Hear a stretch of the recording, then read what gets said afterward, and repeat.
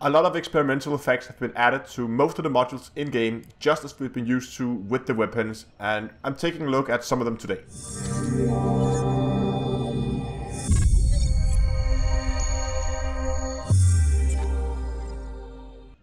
Hello ladies and gentlemen, and welcome back to Elite Dangerous with Down to Earth Astronomy.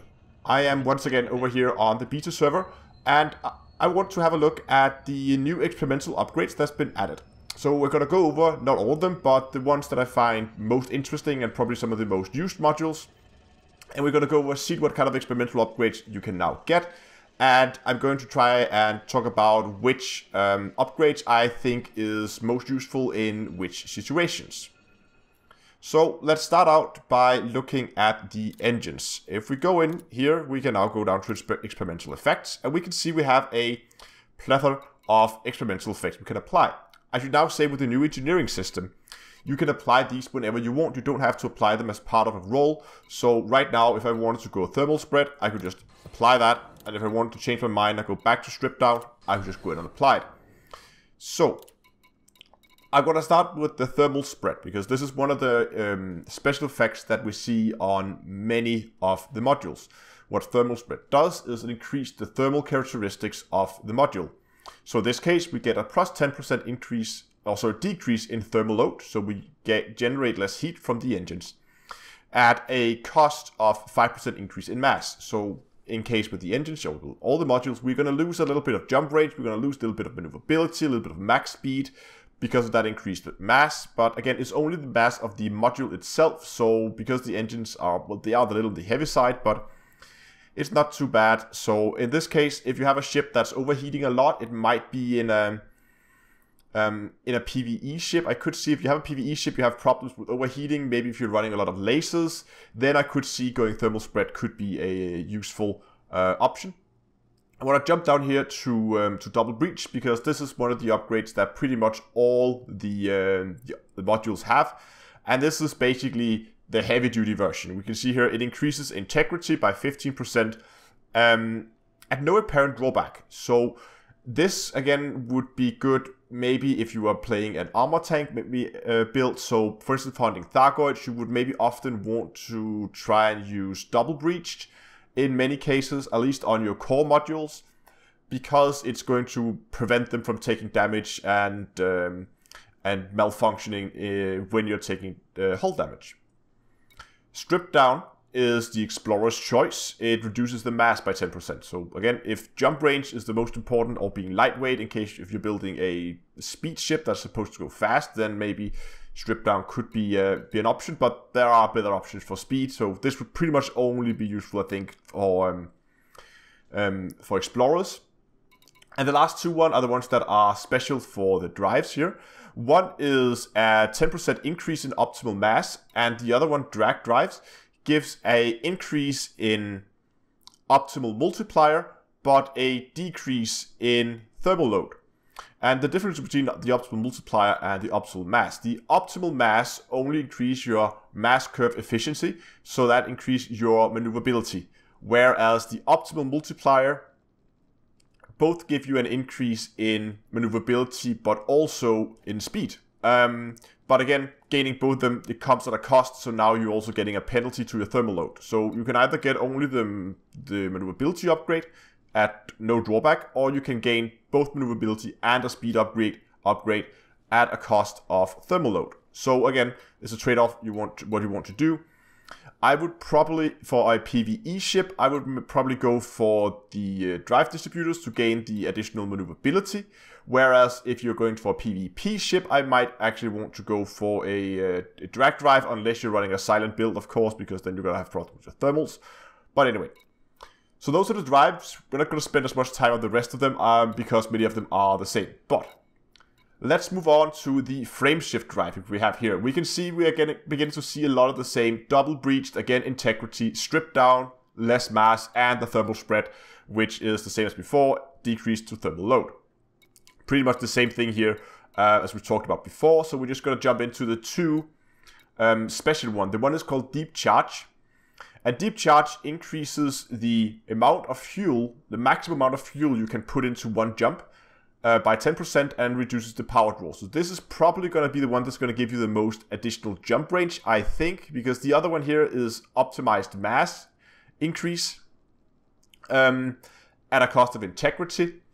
Um, so I'm not really sure which one's going to be the most effective in which situations, but again, you can freely switch between the two. So you can try and see which one gives you the most jump range. Um, and I guess that depends on your build. If you have the extra power draw, I guess I would probably go for, for the deep charge. Um, otherwise, you can pay off with the integrity instead. Uh, again, that depends a little bit on your your specific case. So uh, so try out both of them. Okay, moving on to the um, power distributor. Again, double braced, strip down. Um, we still have, we don't have thermal control here, but we have uh, a few here that's um, pretty interesting, I think. First of all, the flow control reduces the power draw of the um, um, of the distributor. A, a, kind of a weird choice. Uh, it seems like it's the only module where you can reduce the power draw. Um, and it's not like the it uses that much power to, to start with, but I guess this should make the ship more heat efficient, drawing less power, which is nice. Um, but the ones that I think is most interesting is the cluster capacitors and the superconductors.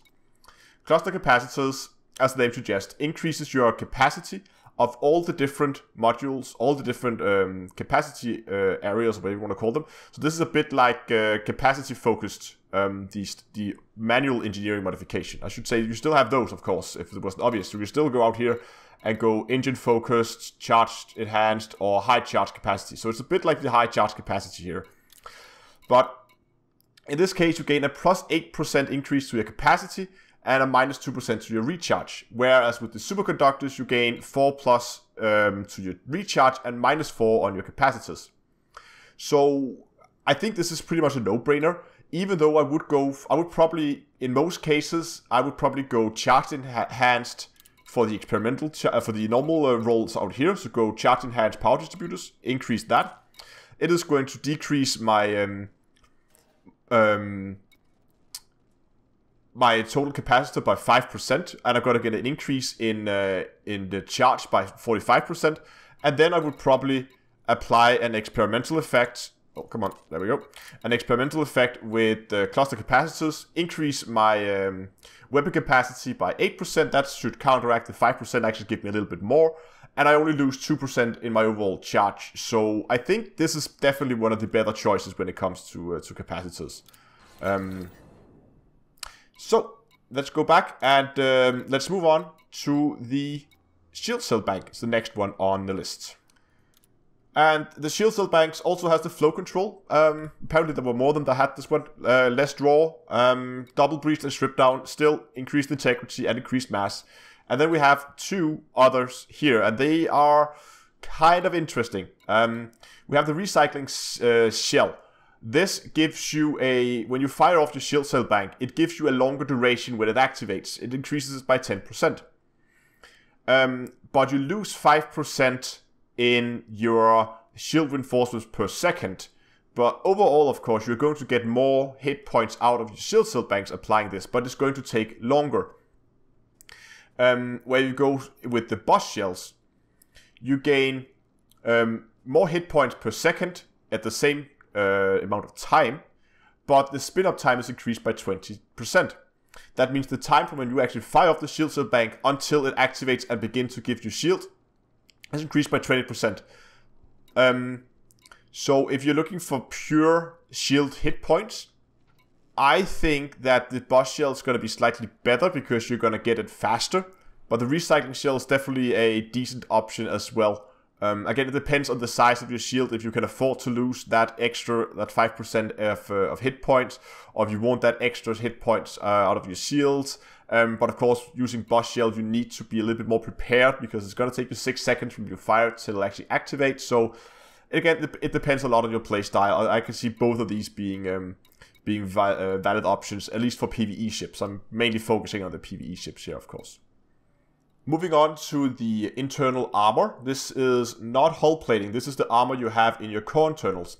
And the upgrade you have here is pretty self-explanatory. You either get an increase in thermal resist at a cost of hull boost, you can gain kinetic resist at the cost of hull boost, or explosive resist at the cost of hull boost, Or finally, you can get the deep plating, which gives you more hull at the cost of all of the three resistances. So again, this depends on the specific uh, thing you're doing. In most cases, if you're doing armor tanking, you're probably gonna go out and hunt Thargoids, in which case I would probably go for the increase in hull mass or hull, uh, hull boost, um, just to get that extra hit, hit points, and then, of course, because, well, your resistance is not really that effective when it comes to... Um, to the Thargoids uh, anyway, so I would probably end up using the deep plating at least for when it comes to armor tanking against the Thargoids.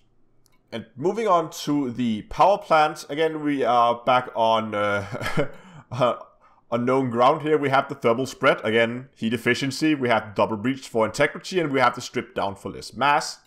And then we have the, what is that, Mon Monstered, which gives you even more power output. So this increases your power output by 5%, but it costs you 10% increase in mass for the module. So um, in this case, I would probably in most cases, I mean, if you can, um, if you can't use the, if you need the extra power, of course, this is the, the obvious choice. But otherwise, double braced might be very good for the power plant because, especially in the PVE, the PvP situation, where people would, if they're sniping modules, they would most likely be trying to snipe your power plant. Um, for jump ships, for exploration ships, again, strip down is a good option. Also, the thermal efficiency. Um, reduction 10% can be very, very good on the power plant because I think it's going to apply to all the modules because the way thermals are, um, the thermals is computed from the um, from the power plant is the more power you draw, the more heat the um, the power plant is going to generate. So having a better heat efficient power plant is going to really help you a lot with your thermals. So this is probably one of the best you can go for if you have problems with your thermals. Um, but for a pure PvE ship, I would probably go for the extra power and just fit bigger weapons or I don't know what else it would fit. Um, maybe go for a uh, for a lower roll out here, so I wouldn't get that uh, that hit on the heat efficiency out here, and then just accept the mass uh, increase that you gain from uh, the power plant. After the power plant, we get to the shield um, generators, and there is a lot of upgrades. So let's go over them here real quick.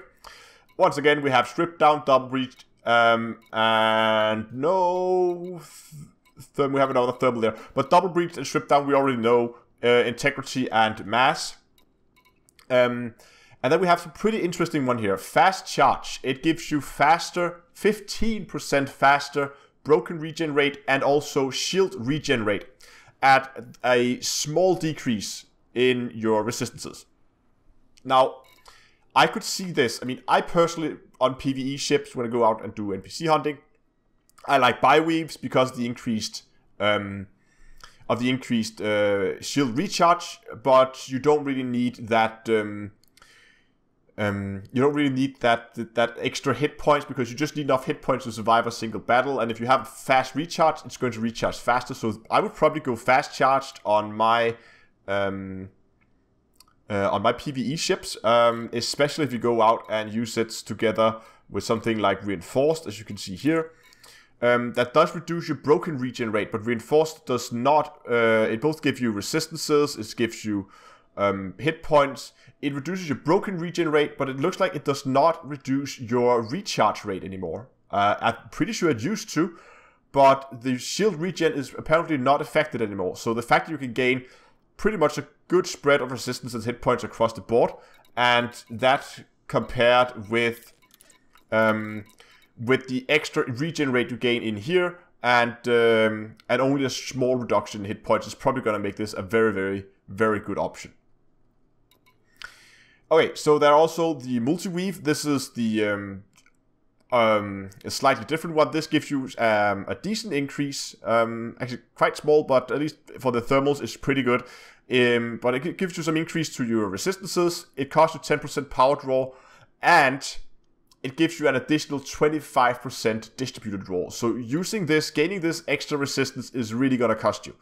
Um, because that 25% extra increase in power draw pretty much means you need an extra pip to your shields in order to keep those um, those running, which is going to be very expensive, especially in a combat ship. Um, so unless you're going to go balls to the walls to go all resistance, then I think I think that distributed draw is a little bit too much before uh, for me to want to go for that at least. Um, you can go high cap. High cap again. You also gain the the same as before, 10% reduction in power draw and um, a distributed a 25% distributed draw, 10% power draw, and you gain an increase in shield hit points. Um, again, I think the distributed draw is just too big to uh, to a, too much of a viable option. Then we have the low draw, which is pretty much the opposite of the multi-weave. Here you get less power draw, 20% actually, that's a lot. Um, you get less distributor draw, and you get that by losing a small amount of resistance and a small amount of shield hit points. So this would probably be a very good choice for ships using prismatics. So if you're having a hard time, because often I feel when you fit prismatics, you're going to suffer in your weapon departments because you're going to spend so much of your energy fitting that prismatic. So if you're flying a cutter, I could see low draw be a viable option to reduce the power draw by 20% and then use that extra power draw to fit um, more powerful weapons and hereby increase your, your DPS. So so I could see this being a, a viable option for, for uh, a ship using a prismatic shield. And the final two ones we have here is of course thermal block and force block, which give you an increase in the thermal resist or kinetic resist at the cost of optimal strength, so a cost of hit points. Funnily enough, it does not seem like there is a uh, explosive block, so you cannot increase the explosive resistance of the shield using experimental effects, only thermal and force. It's odd that they left that one out, but again, I guess that's uh, that's how it is. And now that we are with shields, let's move on to the shield boosters. Again, we have double braced, we have flow control, we already talked about those, less power draw, and uh, higher integrity. Then we have the thermal block, force block, and blast block. Um, again, we pretty much talked about those on the shield. It is thermal resist at the cost of uh, shield hit points, um, kinetic resist or explosive resist, both at the same cost of, um, of that shield hit points. And the final one is this uh, supercapacitors, which uh, increases your shield hit points at the cost of resistance. Um, again, this case, I always try to balance out my resistance. What I like to do when I try when I build ships, um, I try to fit my resistance so that all of them are around 50%. And then from there, I just try to get as many hit points as I can.